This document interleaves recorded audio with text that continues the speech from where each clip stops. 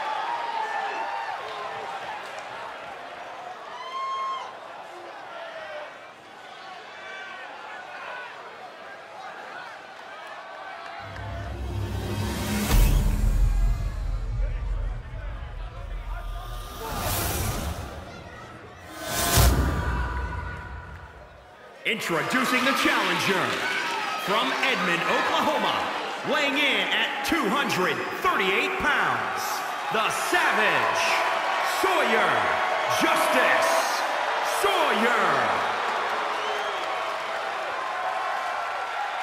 And introducing the champion from Orlando, Florida, weighing in at 229 pounds.